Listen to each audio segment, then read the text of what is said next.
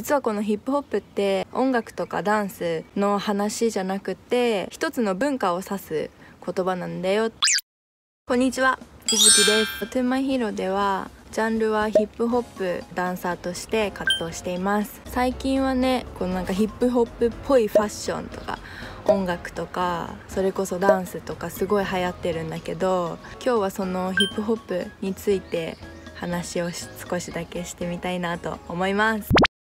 やっぱりファッションとか音楽ってこう目に見えるから文化として捉えづらいのかもしれないんだけど実はこのヒップホップって音楽とかダンスの話じゃなくて一つの文化を指す言葉なんだよっていうのをヒップホップの歴史をたどりながらお話ししていきたいと思います。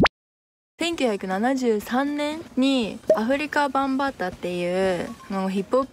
プではすごい有名なこ DJ がいるんだけどその人があのユニバーサル・ズール・ネーションを結成して音楽を通してメッセージを届けるっていう活動を始めました。であのヒップホップっていうこう思想が生まれたのが今のニューヨークのブロンクスあたりになるんだけどそこの当時のブロンクスっていうのがもう貧困層の黒人が溢れてすごい治安が悪くてもう凶悪犯罪とか日常茶飯事でそこでユニバーサル・ズール・ネーションが同じスラム街の中で人種差別とか貧困に苦しみながら血を流して争い合うのは違うなんかそういうメッセージをこう伝えていてでそれにすごいたくさんの人が共感して心動かされてラップとかダンスでバトルして構想じゃなくて競争しようみたいになっていったのが始まり。そうだから自由とか平等とか平和とかハーモニーみたいなのが彼らが伝えたかったメッセージで今のヒップホップの文化思想の確立になったとされています。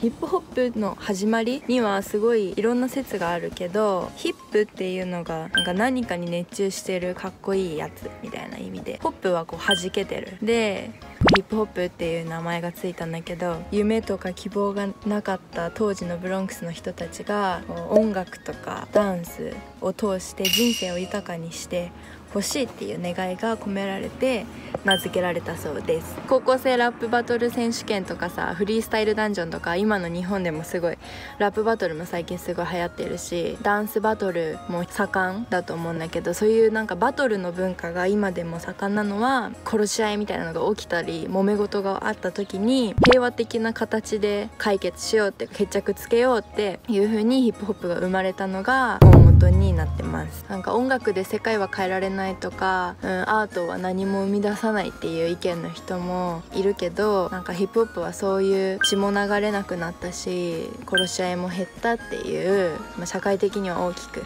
影響を与えた文化の一つになってます。